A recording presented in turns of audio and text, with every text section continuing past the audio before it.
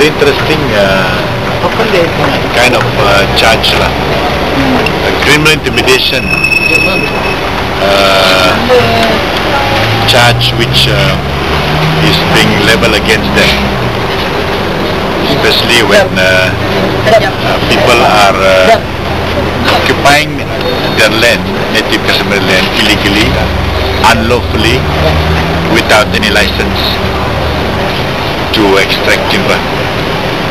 So in the first place, these guys are illegally and unlawfully occupying native land.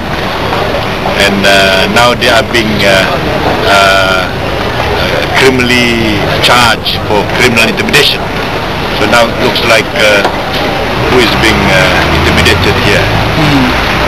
Uh, see, but uh, we feel that charge and uh, we have instruction.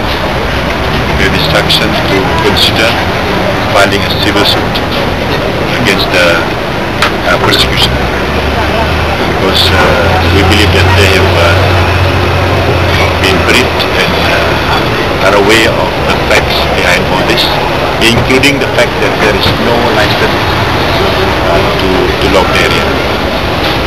So uh, I think it seems to be very uh, unfair in that sense. He's alone lah. This is this is the only one that been charged. Among the seven.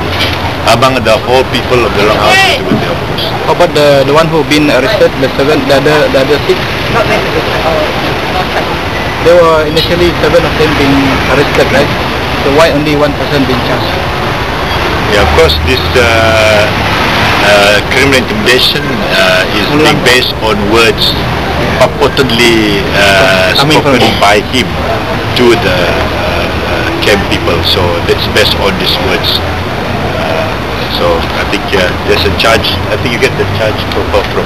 So you, just now, I'm not very clear. So you are going to file a civil suit against the Yes, we are considering that for the instruction of our we are considering that when I see that there is basis for that, uh, that, that should be because uh, I think